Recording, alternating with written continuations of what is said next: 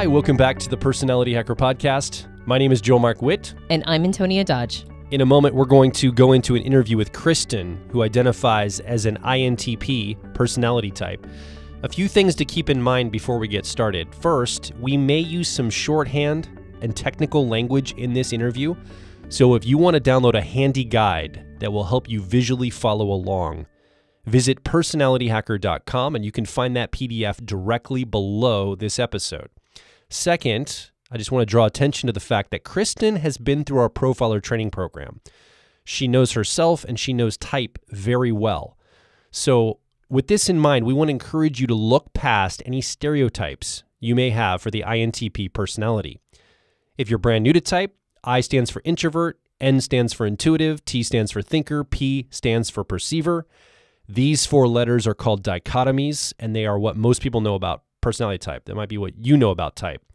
But the true power of the system comes from understanding personality on a much deeper level. And these are called the cognitive functions. And in this interview with Kristen, we're going to go ahead and dive deeper into the cognitive functions as we talk with her. To get an overview of the INTP cognitive functions, one of the easiest places to start is to search for a previous podcast we've recorded. It's titled INTP Personality Type Advice. Cognitive functions can be a bit technical at times, so I just want to remind you there's that handy PDF guide directly below this episode.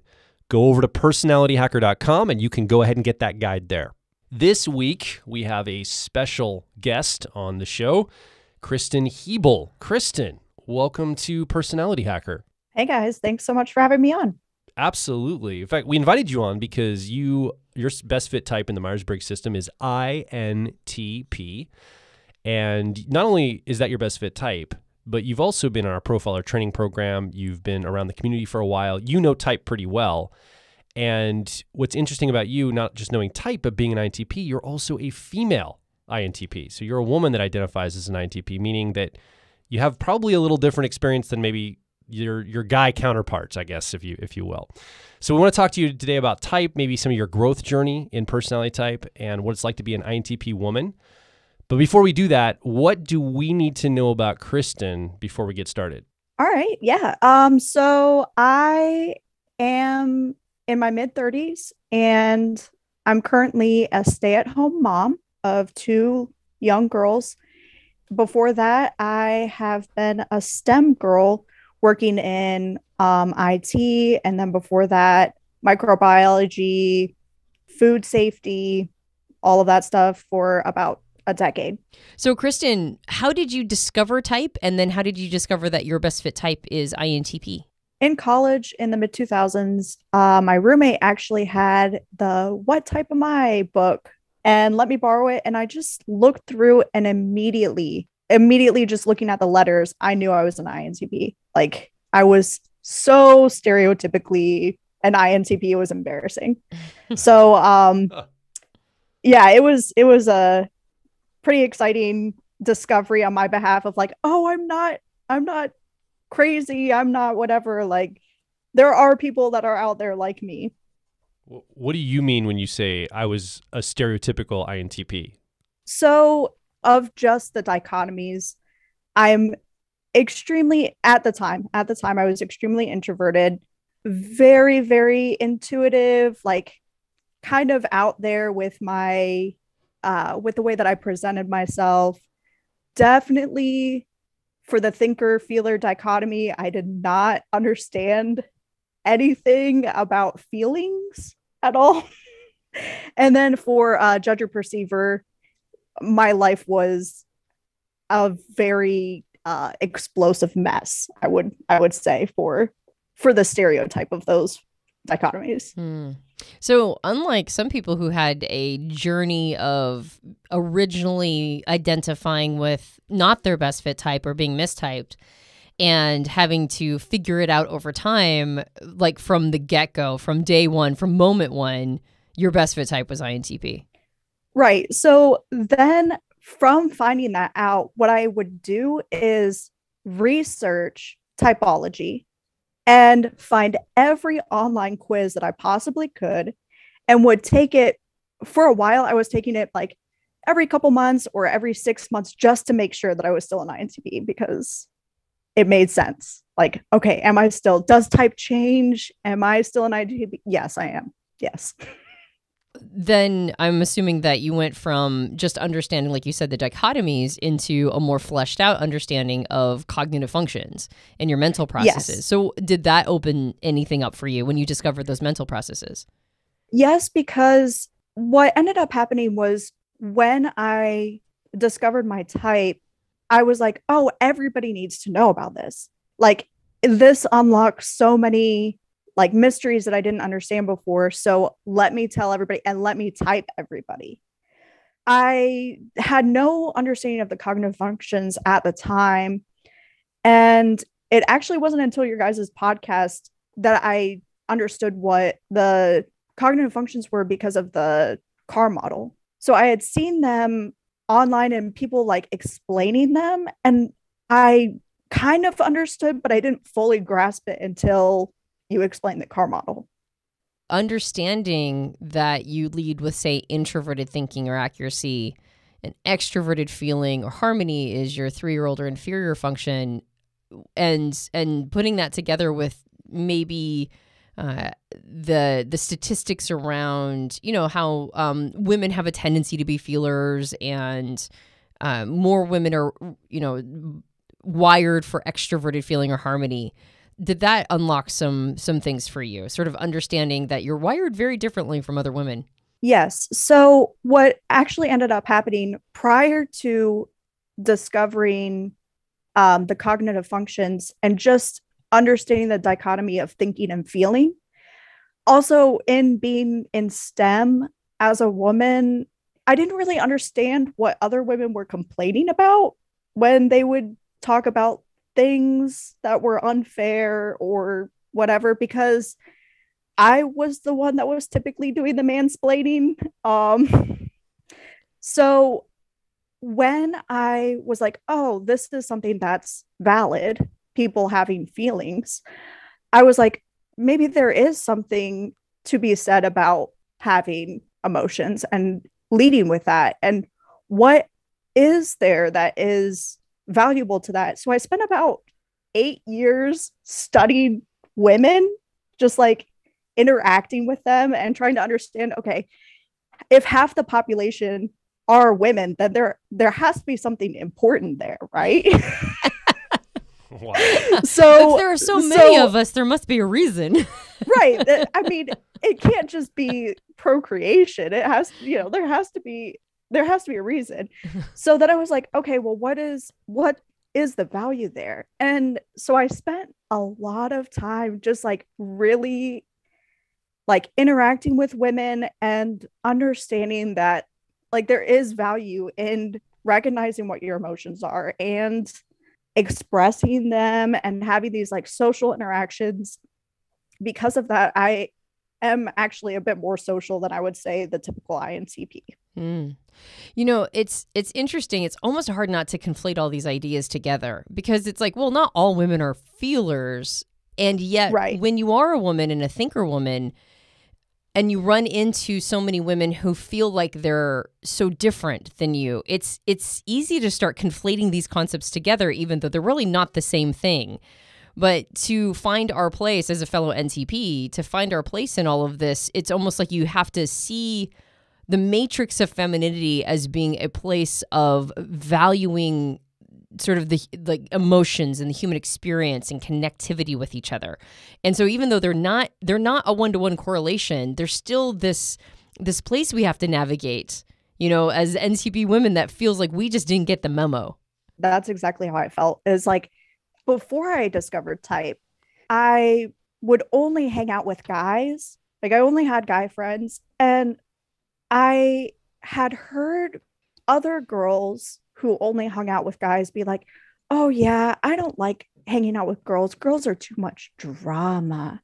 I was like, oh, that's something that maybe that's how I feel. Yeah, I don't like drama. But really, what it was is I could not actually connect with other women.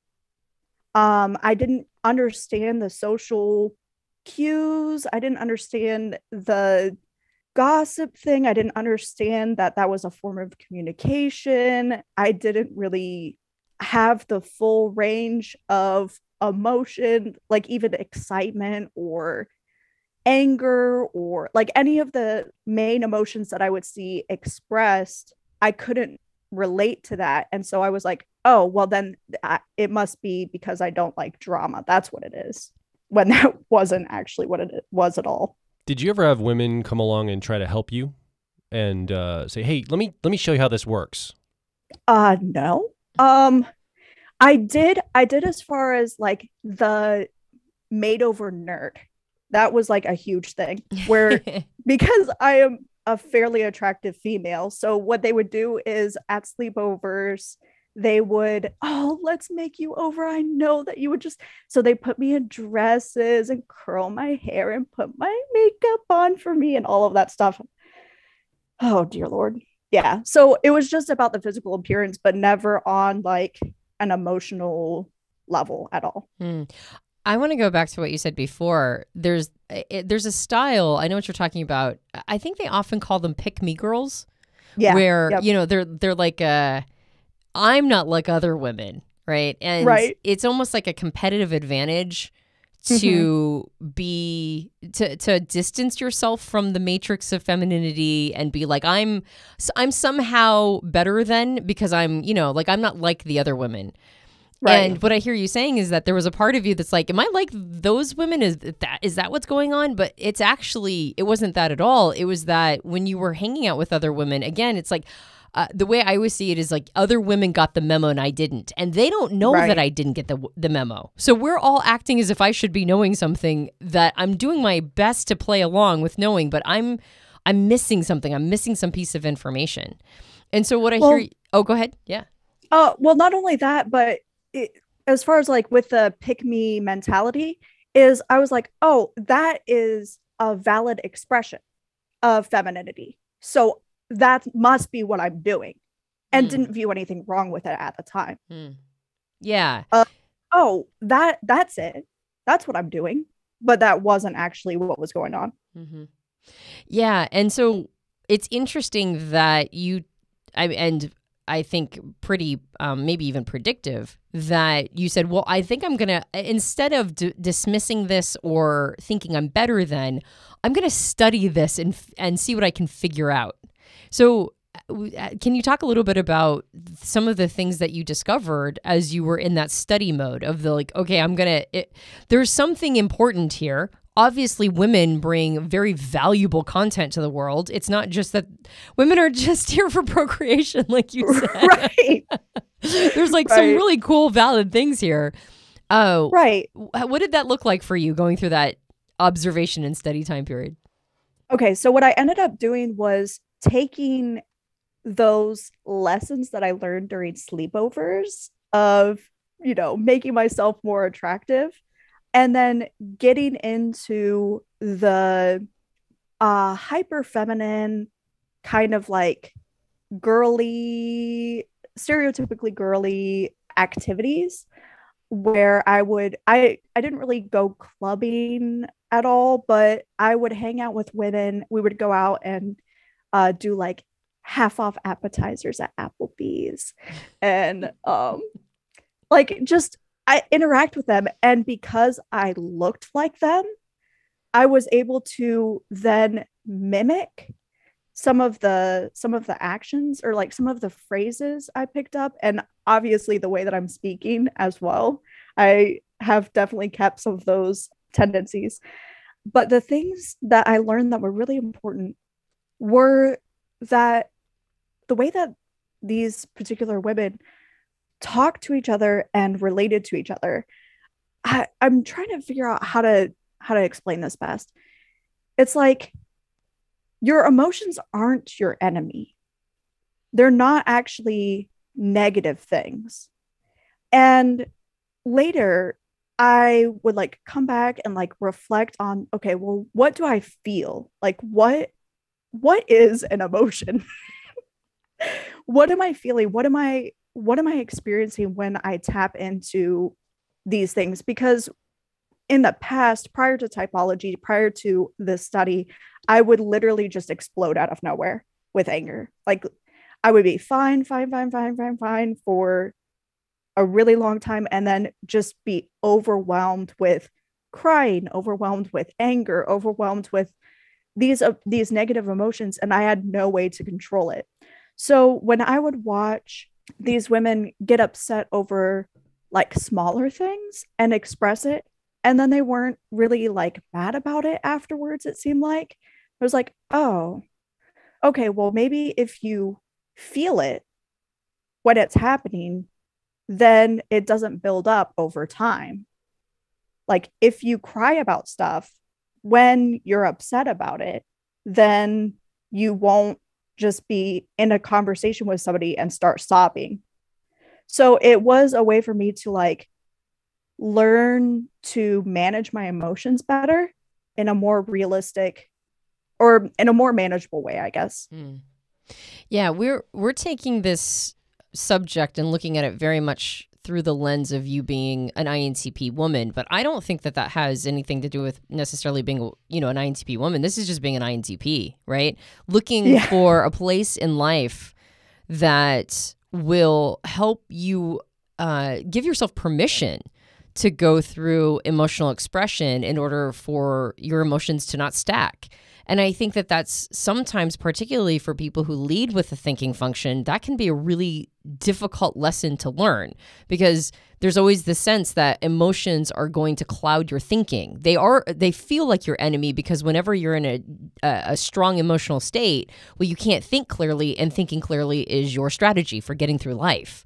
And so I, I would imagine that as an INTP, watching other people not deny their emotions but regulate them and make it so that they don't have these extreme moments of being completely out of a thinking place. I bet that that was, uh, it seems like that was a big leverage point. Yeah, yeah, it was a huge help for me. So as as you were navigating through all of this, um, I'm assuming that um, discovering, you know, as an INTP, when you learned about cognitive functions, more fidelity about how your mind is wired was then you know available to you. Can you talk a little bit about maybe how you started understanding your other functions not just introverted thinking or the value of the feeling function which would for you be your three year old or inferior but also just like your relationship with intuition and your your relationship with your sensing parts? Like um can you talk a little bit about your your awareness around how your mind is wired in those ways? For me exploration is really a good friend of mine, I would like to say. I view it as magic, uh, as it being magical. And the way that that has expressed itself is through my interests. So, my degrees in biology, and there's something about discovering how things work, even though you can map it out even though you can dissect these things, there's still something so mysterious about life, just life in general, and how things are alive and how things grow and how things manifest. And that is so exciting to me. Practically, how it's expressed itself in other ways is I love to travel. I love to like try new things, put myself out there and just experience things and see what happens, although uh, that was not always the case. Before we go to when you became a better friend or you start started to see your intuition as a better friend, I think that's something uh, that's really interesting that part of why you like it is because it keeps the magic and the mystery. Like as a fellow NTP and somebody using introverted thinking or accuracy, I know that there's this idealistic bent to that function that wants to get the answers to everything, right? Like they, it wants to know. But that intuitive part of you keeps like it reminds you that there are things that are unexplained and that there are there's mystery and magic. It sounds like. And how do you how do you balance that with the part of you that wants to know everything? I'm not really sure if balance is the right word. It's just like you learn everything that you possibly can. And then once you reach that point where it's like, okay, I cannot learn any more about this subject. Like I can no longer grasp this thing with my two hands. And then you just let go. And then when you let go, it's like that's when it becomes magical to me, is at that very end where it's like, I cannot control this anymore. And then when you let go, it's like, wow, this is this is where the magic is. This is this is what makes it so special. And then it just becomes more of like awe, if that makes sense. Mhm. Yeah. But this sounds hard won. You said there's a moment before or moments before, a life before that you didn't have access to this as your friend. Yeah, I was definitely scared of it because there is a desire to want to know everything and and want to be the smartest person in the room and want to want to be the expert on whatever topic.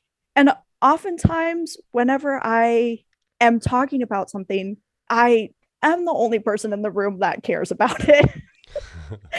and then uh, whenever I come across somebody that also is interested in this thing, then it becomes, I don't know, it just, it's so exciting. It's so exciting when there is that just jump to exploration, I guess. So you are in STEM. You're in microbiology. I'm guessing there's an avenue for some of your best your best traits to come and be highlighted. That accuracy, driver, introverted thinking, combined with that exploration or extroverted intuition. I'm guessing that in the STEM world, in the fields you were in, that was welcome. You were allowed to bring that forward. Am I am I on the right track on that? Yes. But I also know that you were part of a very strong faith background. Yes. And in there is probably a little bit more socially focused and some more maybe maybe it doesn't pull on your strengths or give you as much opportunity for your strengths. You're also in that world too. Is that correct? That is correct. So you almost have these these dichotomous worlds you're a part of. And was that a weird experience for you as an INTP to kind of go between the the social, religious, faith experience and then come over to STEM and then go back? It's like it almost feels to me like it would be for for an INTP it'd be like going from hot and cold water back and forth in a way. Yes, I grew up in a evangelical setting, and it has been very, very challenging for me, especially when I was younger, because I actually read the Bible and studied it and cared about it. And so whenever I would be in these church settings, I felt like an Old Testament prophet standing on the mountaintop telling everyone, hey, uh, you're doing it wrong. Like, have you even read this book? Because you're acting like you haven't. So, literally, just feeling like I was the only person of my age group, the only person in my church, the only person in my family that actually had a grasp on things reading the text. I would just tell people that they were wrong all the time. Which probably didn't go over very well in that kind of environment. I mean there's a Uh, Yeah, I grew up there too. There's a there's a social component that you kind of you go along with what's happening. You don't want to rock the boat. You want to be in harmony in this setting.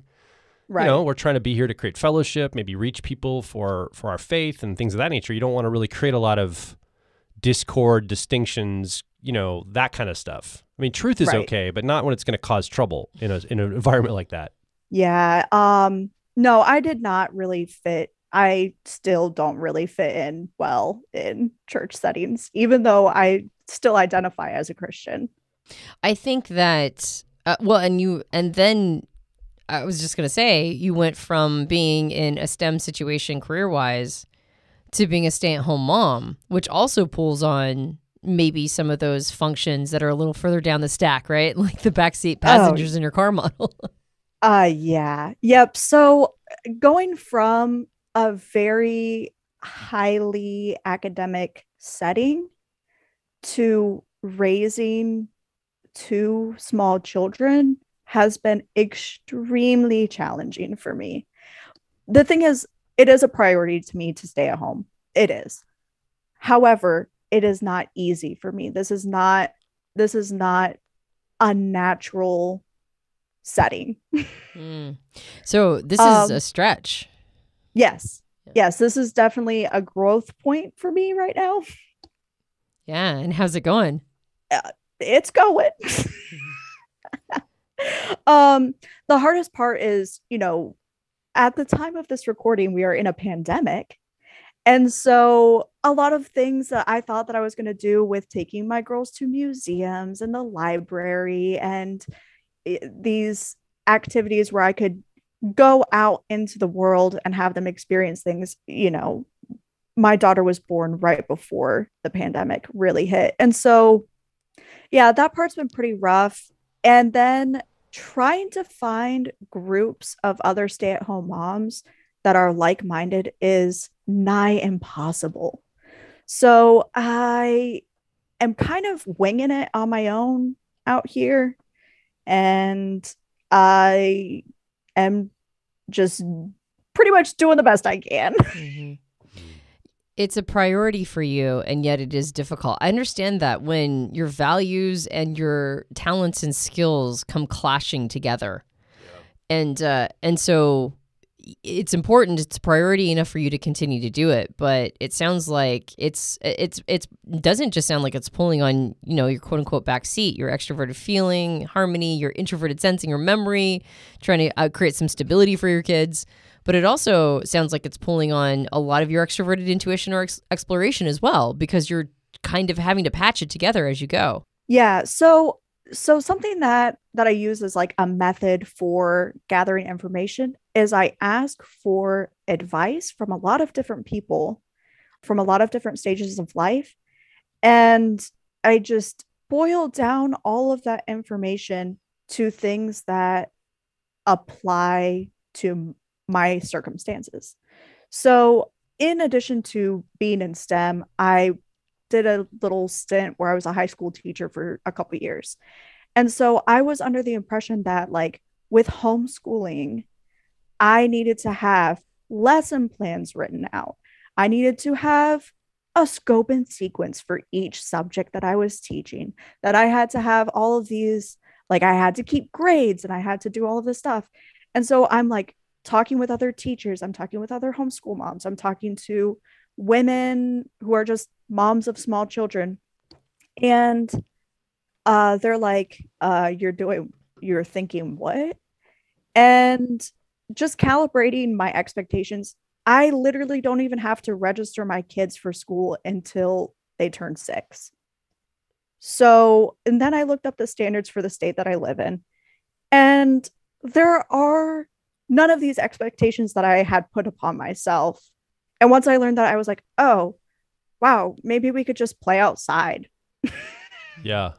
Well, I think you speak to the struggle of INTPs is that there's this balance, there's this almost it's hard to get a handle around how much do you tap into the external world and the the things that are set for you out here, the standards and the metrics. How much should you take that upon yourself versus how much should you do it on your own and be creative and figure it out? And I think a lot of INTPs struggle with that balance because there's some value in the external systems in the world and the, and the social expectations and things, but there's also value in doing it yourself. But I've seen some INTPs that go too far in the independent route. They don't play nice with others, quote unquote, and they end up maybe not having the success they want or the they have challenges with motivation or whatever. They're too much on their own.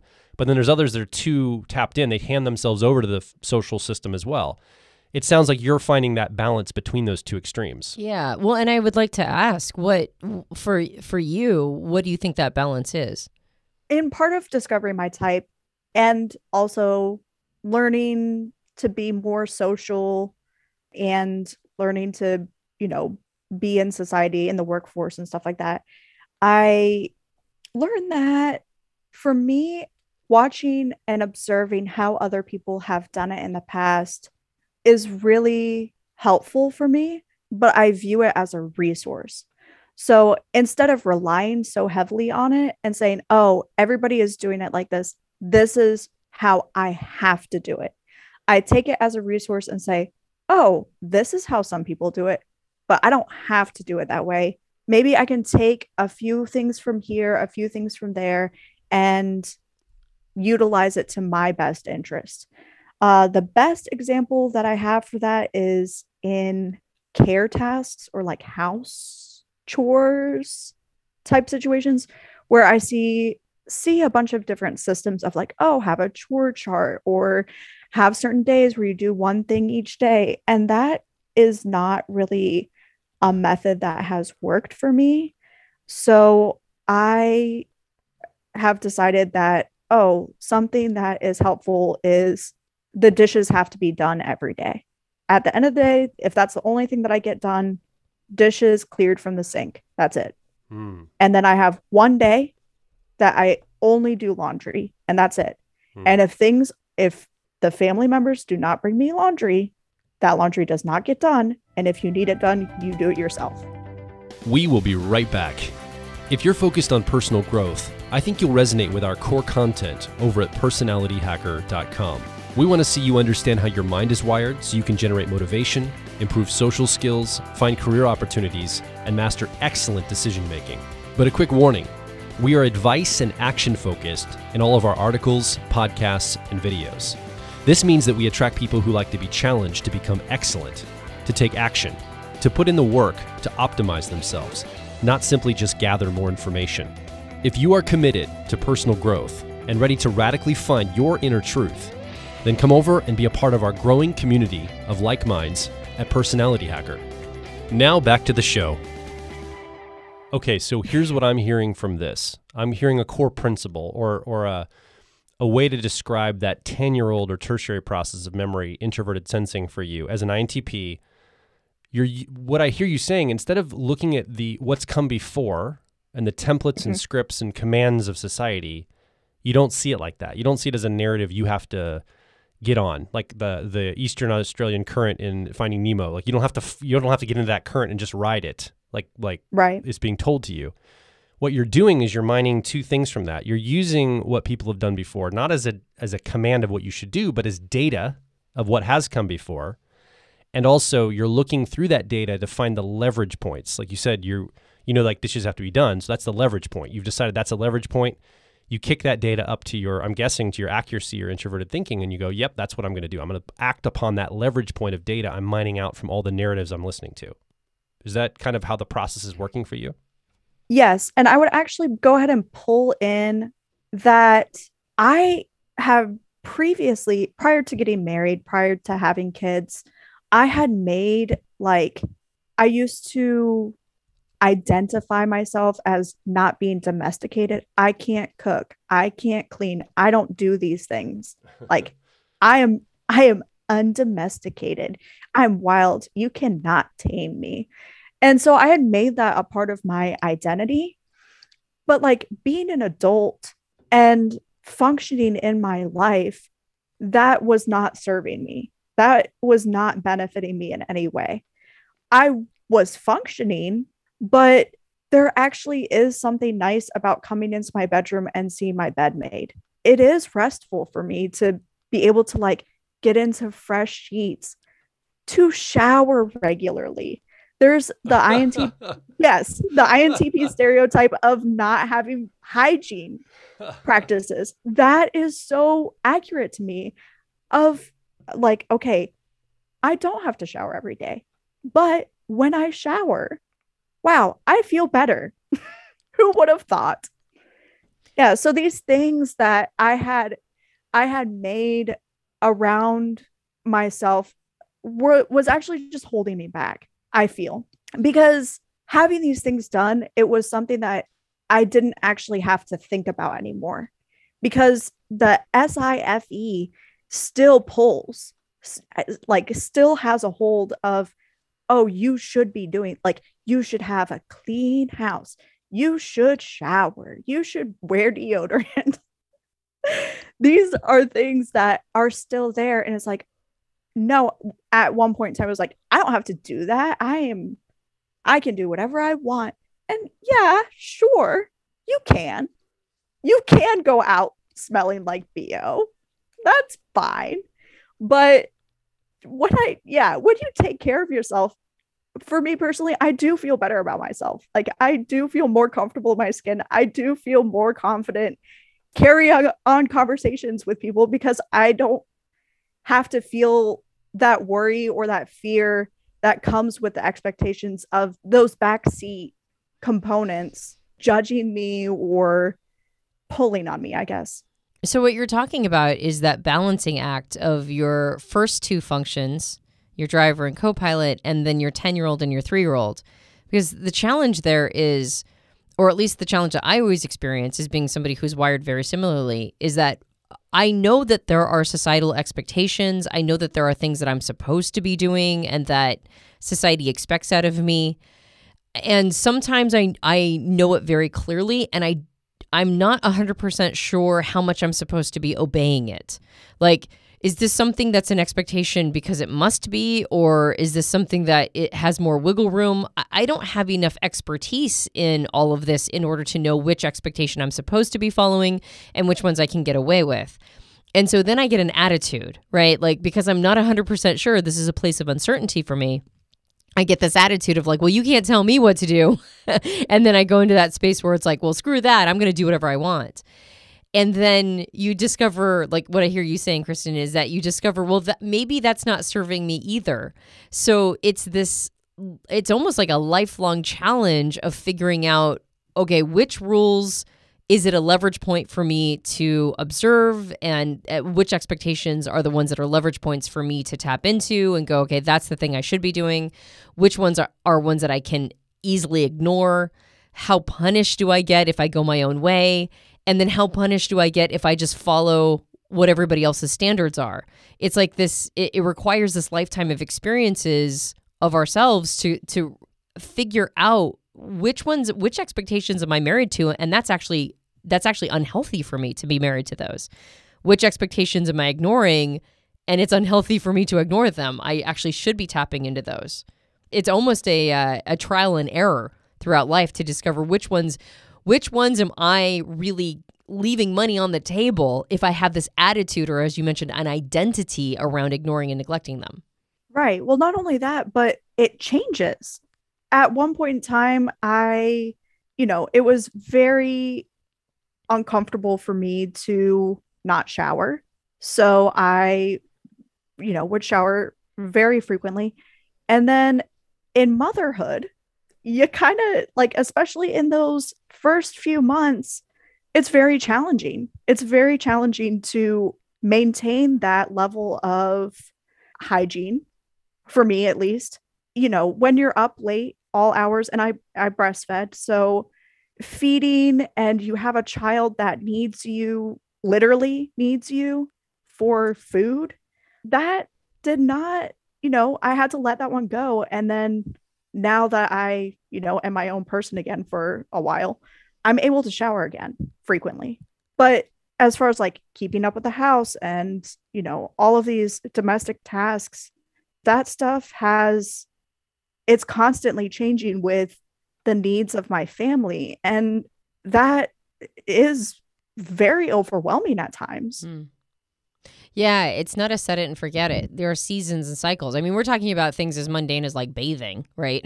like, yeah. How often am I supposed to be hygienic? I don't know. Like, what do I figure? How do I figure that out?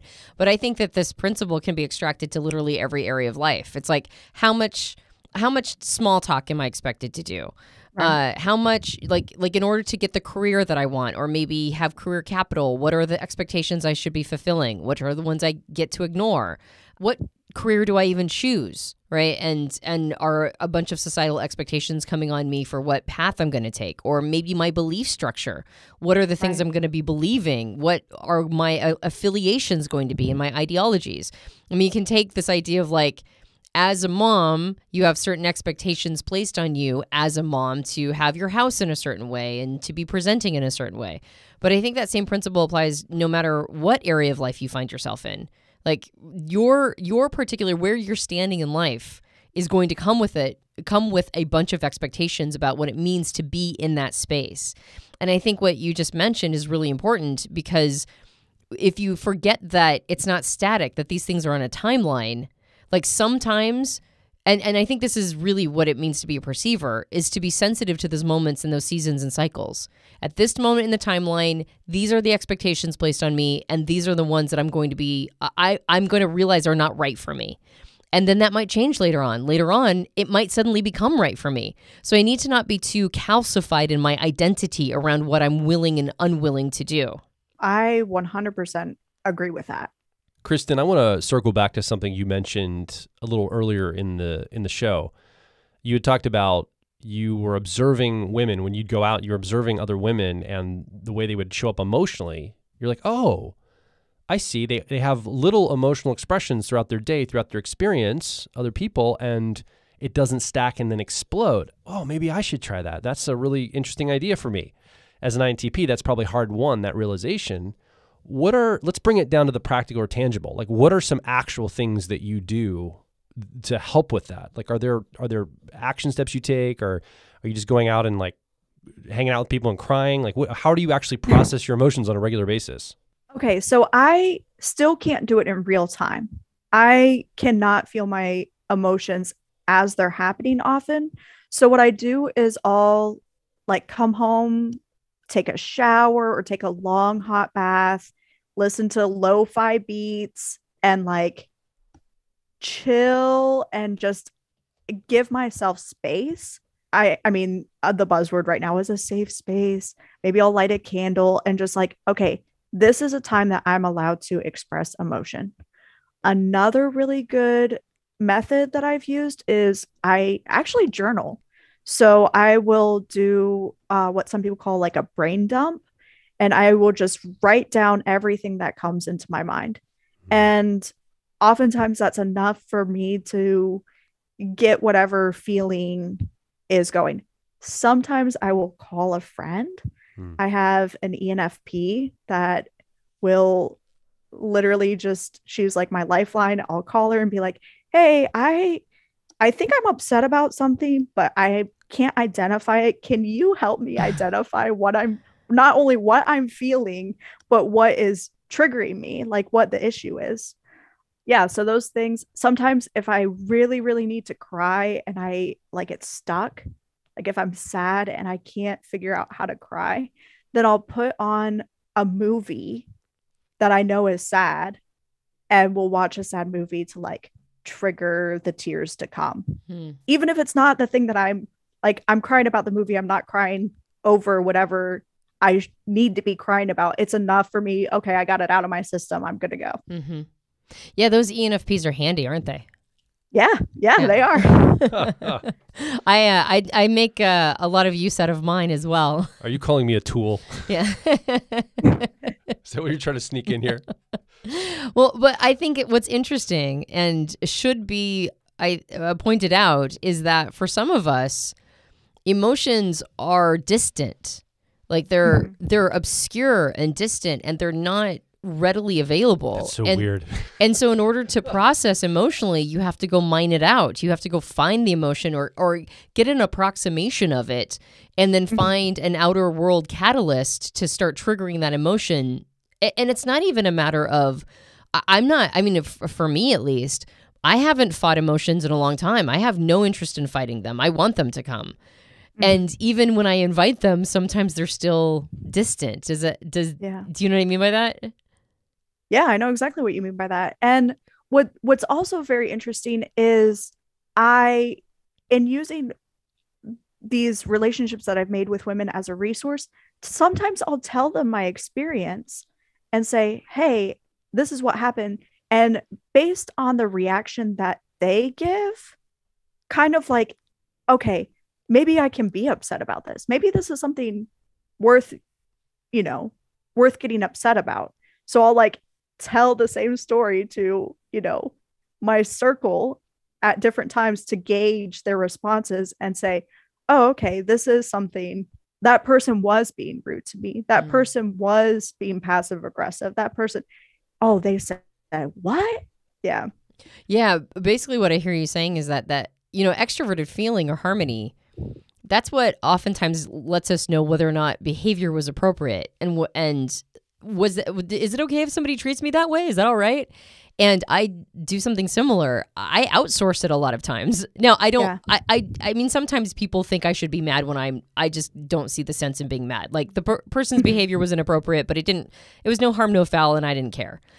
But sometimes things happen that I don't know I have permission to be offended around. Yeah. And when yeah. I talk to people who have more sophisticated extroverted feeling or harmony and they're like oh yeah you totally are allowed to be mad about that. That totally shouldn't happen i'm like yeah right? I, i'm allowed to be upset. Yeah. Yeah. I know i would also say that even people that use extroverted feeling or harmony as a strength do this too. Eh, that's true. I mean that is what a group of extroverted feeling users are doing in a in a group setting is they're calibrating Mm-hmm. the expectations and the social acceptability or non-acceptability of things. So it's it's something I think all extroverted feeling harmony does. I, I do want to bring attention to something though, Kristen. We did. I mean, we talked a little bit about you not being able to shower at, at one point in this show, right? We're talking about your hygiene, and you're like, I, I struggle with showering. And then right after that, I asked you this idea of emotional processing, and you said, "Well, I come home and I take a shower or a bath, and I take care. I light a candle, and I'm realizing just how much self care and emotional processing is connected for you." And I don't know if that's for all INTPs, but I, I am hearing this connection point of there's something there. I just wanted to bring highlight to if you have any comments on that. Yes. So one of the things that I, you know, for a while, I even like subscribed to the magazine Cosmopolitan to like get more insight on, on women. And, you know, they talk about like a lot of this stuff. And right now, a huge trend is self care and like, you know, making sure that you have a safe space and like all of this stuff. And I'm like, okay, but what is that? What does that mean to me? Like, what does that actually facilitate for me? And so, in order for me to get into like, because right now I have still, like, I still associate emotions with feminine things, like with femininity. So, when I when I cosplay as a feminine, you know, feminine female, then I I'm able to like tap into those emotions. Hmm. So I just shift into that back seat by like, oh, I'm doing girly things. I'm taking care of myself and in doing that, I'm allowing these emotions to express themselves. Hmm. I think that I have a tendency to say think in the same way, and I think that when uh, an somebody with INTP preferences who identifies as a man, I think when they have a similar uh, challenge, there's there's that association we make.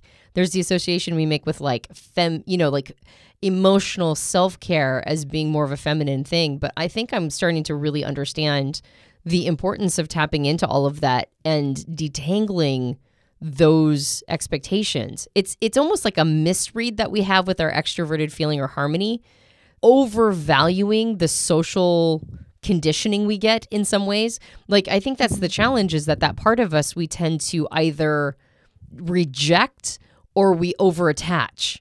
We go, okay, so this is a conflation of these two things, right? I, I must be doing that. This is how it must work because that's what society is telling me, or that's how society is telling me that it works. And um, and I've had sort of a similar thing, and I'm thinking about like, what if uh, you know the listener is an INTP who doesn't identify as a woman, and yet they need to do emotional processing as well. I think understanding that this is something that uh, that is required for particularly people who lead with a thinking function that this is really difficult to tap into no matter what but then if you layer on all of these societal expectations and you don't know that you're allowed to deny them like those are the societal expectations that you think that you're supposed to be observing or obeying it can get really complicated to really get into that emotional experience so I think um, I think what you're talking about with the self care and uh, and that association you're making, I think we all kind of make that association, or at least we're encouraged to. And Right. I wonder if there's value in detethering that and going like, uh, maybe I'm not getting into my feminine space. Maybe I'm just getting into my emotional processing space. But as a woman, there is something sort of uh, as an, a fellow NTP woman, I think there's a value in also seeing this as like this is my rite of passage. This is my birthright as a woman, right? You know what I mean? It's like this is part of what mm-hmm. comes along with it is that if I tap into the feminine, I keep using this phrase, the feminine matrix, because that's kind of how I see it, like this sort of collective mm-hmm. of femininity. But if I tap into it, there's also a lot of like power, there, there's a lot of power in tapping into that and remembering that I do have a right to do all of this and I have a right to self care and I have a right to emotionally express and process. I think in some ways, for those of us who are wired as NTPs that are women, we have an advantage in that we are encouraged to mm-hmm. get into that space, and so we we aren't allowed to be so one sided. Like we're like the Yeah. world doesn't give us the the the ability to be one sided. It encourages us to go to that space. Whereas I think for men who are INTPs, they are encouraged to be more one sided. So in some ways, they're in almost a worse situation. Yeah, I would agree with that. I used to think like, oh, life would be so much easier for me and there wouldn't be so much societal pushback if I was born male.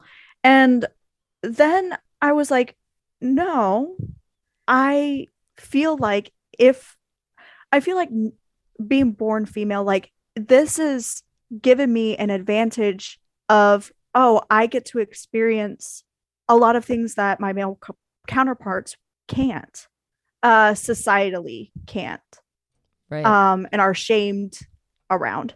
And I feel like I've been able to grow a lot more because of, you know, the research that I've done and pushing myself in these ways. Well, it's it's one of those things where it's like you get advantages and disadvantages both ways, right? Yeah. Like it's more it's more sort of the uh, gender stereotype to be thinking dominant as a man.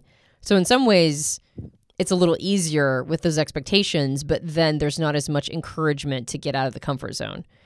And Yeah. and whereas we have more of an encouragement to get out of the comfort zone, but we also have probably more feelings of like I'm a complete and total weirdo, and why am I so weird? so it's it's uh it's what it's what do they call it? Like uh six six tens or six twelves half a dozen of the other whatever the expression is. Six to one. Six to one. There you go or thirteen to one. Baker's dozen to the other. I don't I know. know Whatever it is. whatever the expression is uh, so I actually just to make a comment to this. So for if for you INTP male who's listening right now, you're not a female. You you're not identifying in these these ways.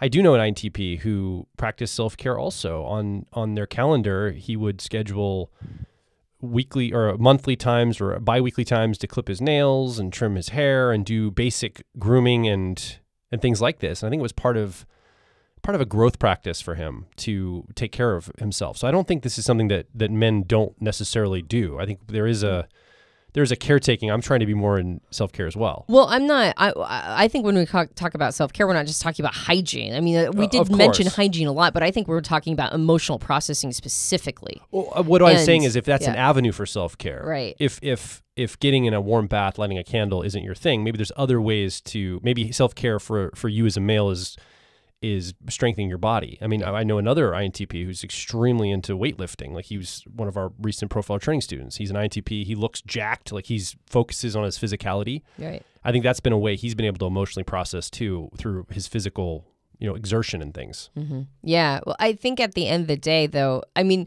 there's these stereotypes that INTPs struggle with some of these things, but I think that when an INTP places priority and understands that, like Kristen, you were saying that there's like these seasons and moments in the timeline. Yeah.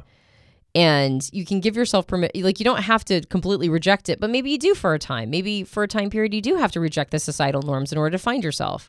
And maybe mm-hmm. later on down the line, you don't do as much rejection. Maybe right now, this is a time period to sort of plug into the societal norms, and that will help facilitate your life.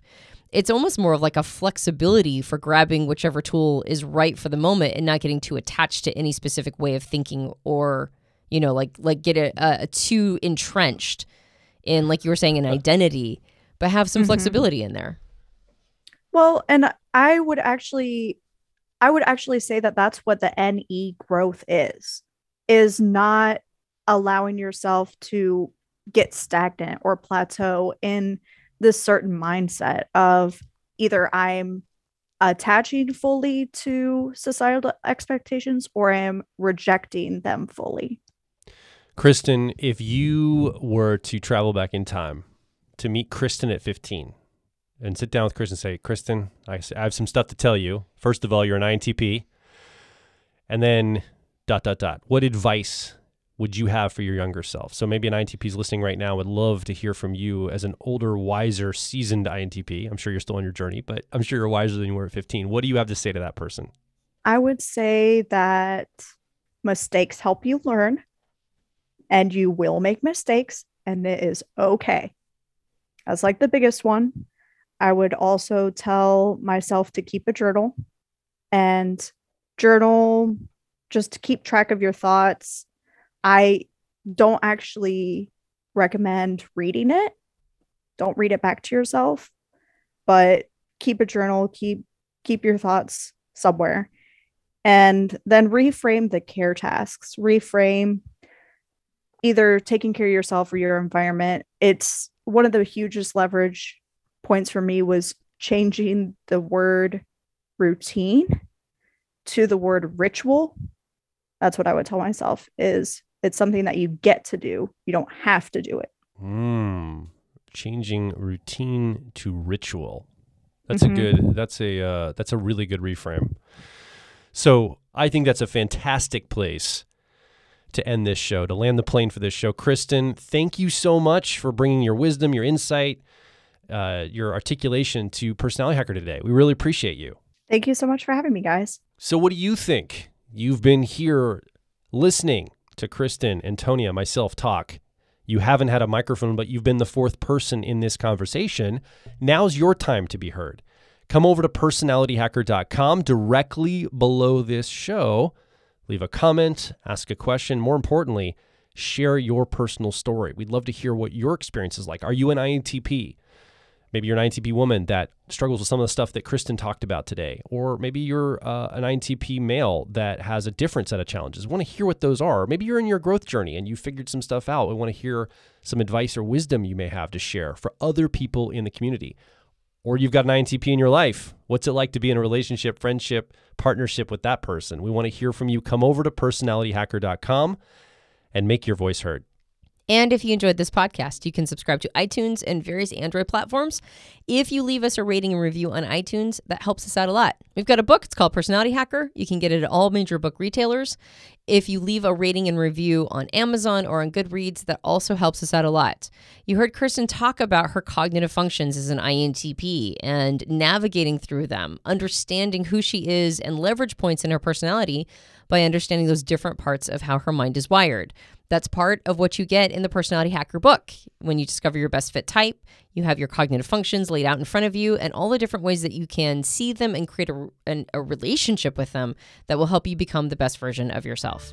We also have a suite of programs that are available at personalityhacker.com. If you look at our catalog of programs, you'll see that they're personal growth oriented through the lens of personality type. If you're ready to take your growth to the next level, go check out those programs and see if there's one that's right for you. My name is Joel Mark Witt. And I'm Antonia Dodge. and we'll talk with you on the next Personality Hacker podcast.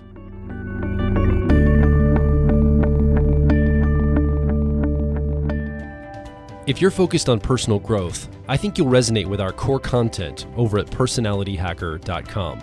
We want to see you understand how your mind is wired so you can generate motivation, improve social skills, find career opportunities, and master excellent decision making. But a quick warning we are advice and action focused in all of our articles, podcasts, and videos. This means that we attract people who like to be challenged to become excellent, to take action, to put in the work to optimize themselves, not simply just gather more information. If you are committed to personal growth and ready to radically find your inner truth, then come over and be a part of our growing community of like minds at Personality Hacker.